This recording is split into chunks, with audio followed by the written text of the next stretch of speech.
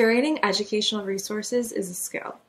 Finding the right information provided by a trusted source is important for educators and students alike. Luckily, there are lots of tech tools that make aggregating resources easier.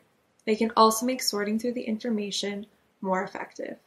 By using IFTTT, you can create your own list of resources that can be easily sorted using keywords. I'm Drea from the IFTTT team, and I'll show you three ways that you can use automation to pull resources for lesson plans or furthering your own personal education goals. IFTTT can build applets using RSS feeds as a trigger.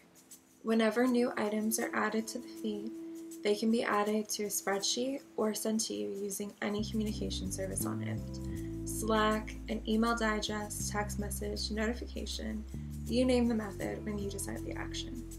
For example, I'll use this blog about teaching. It's a WordPress blog, so I can find the RSS feed by adjusting the URL.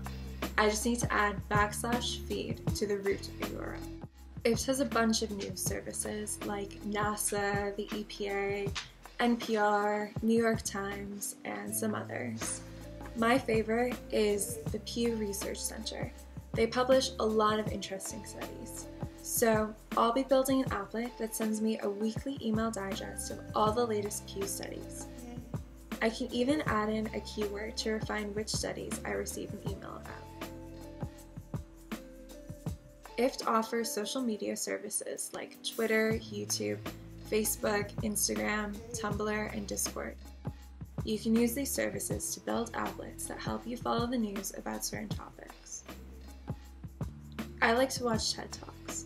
So I created this applet that notifies me whenever a new video is added to the TED Talks YouTube channel. Using filter code, I can tell this applet to skip its action unless the video description mentions education.